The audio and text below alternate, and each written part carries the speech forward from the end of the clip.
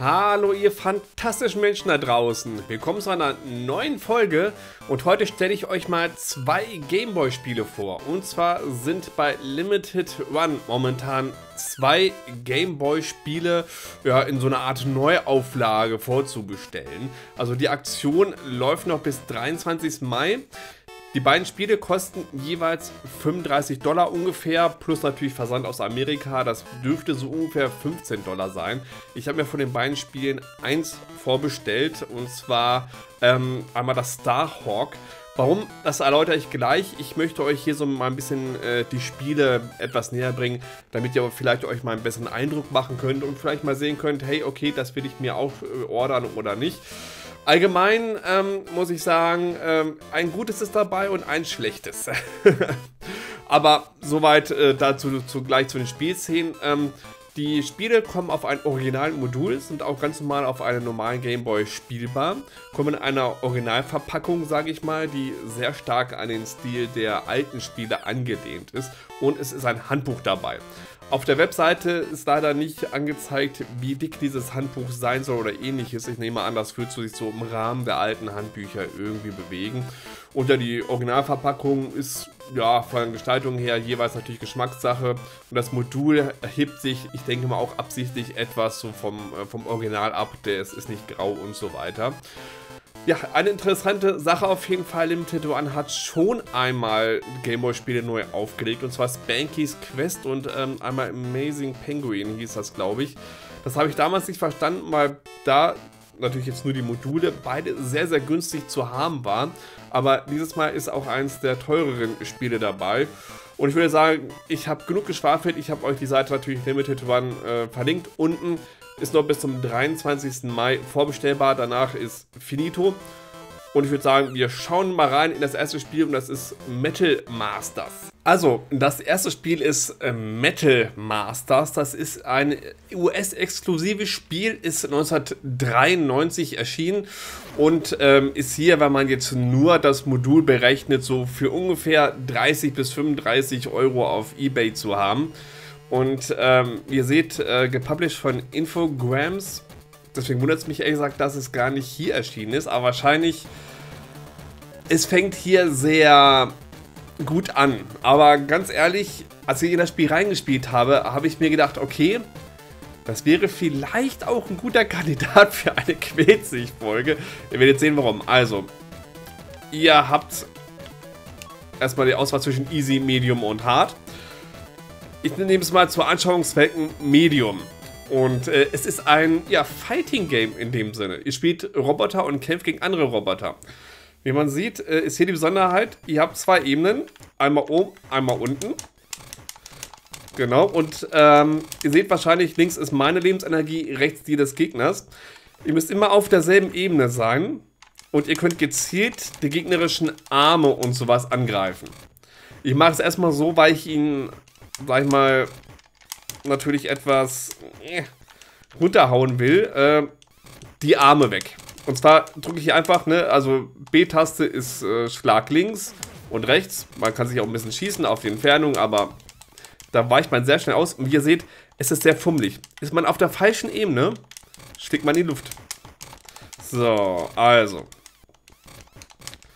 So. Und zwar, wenn man auf derselben Ebene ist, jetzt haben wir erstmal Ruhe, weil ihr seht, ich habe hier die, die beiden Arme weggekloppt. Das heißt, er kann jetzt so original nichts machen. Deswegen sollte natürlich für euch, hey, Ziel sein, am Anfang Arme wegkloppen. Das Problem ist jetzt, ich muss jetzt die anderen Ebenen treffen. Einmal der Body, das ist komisch beschrieben, das ist eher so der Kopfbereich und einmal die Beine. So, ähm, das Problem ist, wenn ich nach oben drücke, ja, jetzt wollte ich jetzt gerade was zeigen, und schlage, also auf die Entfernung schießen sie immer, dann schlägt er nach oben. Das Problem ist natürlich, wenn ihr auf der unteren Ebene seid und das machen wollt, dann geht ihr halt nach oben. Was total bescheuert ist. Das heißt, ihr könnt das nur machen, wenn ihr auf der oberen Ebene seid. Ja, so. Ne, so so mache ich denn halt hier am Bodyschaden. Ansonsten, ne, linke Faust macht den linken Arm, gegnerischen Arm kaputt und so weiter. Wenn ihr doppelt nach unten drückt, dann kniet ihr euch hin und könnt dann theoretisch auch einen Schlag irgendwie ausführen. Aber ganz ehrlich, das ist so fummelig und braucht man auch nicht. Das heißt, ich habe ihn jetzt quasi kampfunfähig gemacht. Ich kann jetzt nicht mehr verlieren. Ihr seht schon an der Punktzahl. Ich muss jetzt aber noch seinen Body kaputt machen, damit ich jetzt die Runde gewinne. Oder halt abwarten. Ihr seht, in der Mitte ist ein Zeitlimit, bis das abgelaufen ist. Klingt das für euch nach Spaß? Wie gesagt, mit diesen zwei Ebenen, das ist eine nette Idee. Aber das ist einfach nur schlecht umgesetzt worden. Guck, ich, ich muss jetzt immer gucken, dass ich ihn jetzt nach oben treibe. Weil wenn ich jetzt da unten gehe und einen Schlag nach oben mache und das dann quasi gedrückt halte, das Steuerkreuz, ich könnte natürlich jetzt jedes Mal hier einfach nur die beiden Kombinationen drücken, gehe ich halt immer eine Ebene nach oben. Und das nervt tierisch. Das heißt, die haben sich schon was überlegt hier mit verschiedenen Trefferzonen und verschiedenen Ebenen und so. Das hätte, hätte potenziell ziemlich cool sein können. Auch Sound passt, würde ich sagen. Ja, da gibt es nichts zu meckern. Aber wie lahm ist dieses Spielprinzip? Also ich weiß nicht, also Fighting Games auf den Game Boy ist so allgemein keine so super Idee. Aber das ist jetzt natürlich blöd. Auch hier im Prinzip super Idee. Ihr könnt mit euren verdienten Punkten, könnt ihr halt entsprechend ähm, euch die einzelnen Körperteile hier verbessern. Ich habe natürlich jetzt nicht genug Credits. Ähm, ich habe nur einen. Aber ihr könnt das alles reparieren und upgraden. Wunderbar. Super Idee. Nur halt, das drumherum, der stimmt alles. Aber das Gameplay an sich ist halt scheiße, ne? Ich gehe jetzt hier hin, zack. Ich mache jetzt wieder... Also ist zumindest für mich, ich habe jetzt nur bisher auf leicht gespielt. Das mag vielleicht jetzt noch mehr Anspruch haben, wenn natürlich auf äh, Mittel oder auf Schwer spielt. Aber ganz ehrlich, sieht das für euch nach Spaß aus? Also aufgrund deswegen habe ich mir dieses Spiel jetzt bei Limited One nicht vorbestellt, weil ich finde es irgendwie so ein bisschen, okay, das ist so, so eine Neuauflage, das mag natürlich jeder so für sich entscheiden, wie er das mag. Ne? Ähm, manche stehen drauf, manche wollen Originale sammeln, da gibt es dann richtig oder falsch. Aber dann sollen sie doch wenigstens gute, seltene Spiele rausbringen. Wie zum Beispiel Trip World oder irgend sowas. Was wirklich arschteuer ist und gesucht wird. Aber hier sowas, was irgendwie keine super, super Bewertung ist. Äh, also hat und auch nicht verdient hat. Ich mache es nur kurz hier rum. Ich weiß nicht. Komische Wahl. Mag natürlich auch an Rechten und sowas zusammenhängen. Aber ich würde sagen, gehen wir mal zum wesentlich, wesentlich besseren Spiel. Und zwar Starhawk. So, Starhawk ist ein EU-exklusives Spiel, was 1993 erschienen ist. Es war wohl auch eine Veröffentlichung in den USA geplant, wurde aber gecancelt. Das Spiel ist schon wesentlich teurer, wenn ihr das für eure Sammlung euch holen wollt. Und zwar kostet das so um die 80 bis 90 Euro. Auch hier wieder nur, nur das Modul. Und ähm, das Spiel, ich muss vorweg machen, es ist ein Shoot'em Up.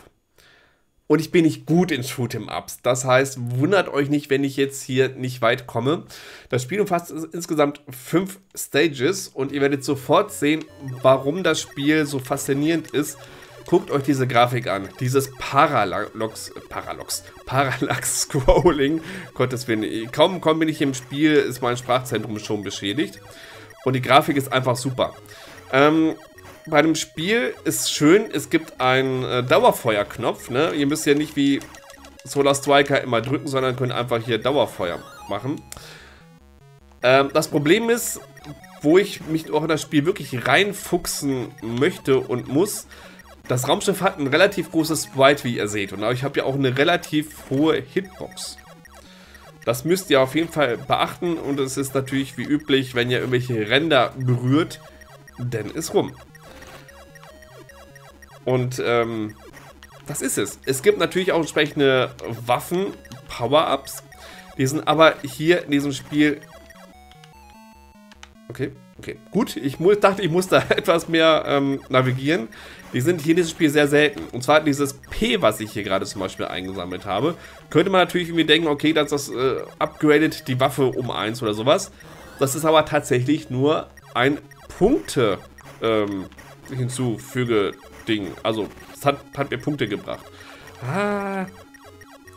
Ähm, und dadurch ist das Spiel jetzt nicht so sehr großzügig, dass ihr äh, wenn man ja irgendwie A-Type spielt oder so, habt ihr danach gefühlt irgendwie 10 Sekunden ähm, schon die fettesten Waffen an sich. Und wie ihr seht, es ist schnell Game Over. Ich starte nochmal neu, nur damit ich ein bisschen was erzählen kann. Ich habe es wirklich, ehrlich gesagt, noch nicht weit geschafft. Ich habe mir natürlich so ein bisschen in der Vorbereitung mir ein bisschen Videomaterial angeschaut und auch äh, durchaus Tests gelesen. Ähm, und da wird halt überall, vor allem, wie gesagt, das Parallax-Scrolling und, und die grafische Qualität hochgelobt.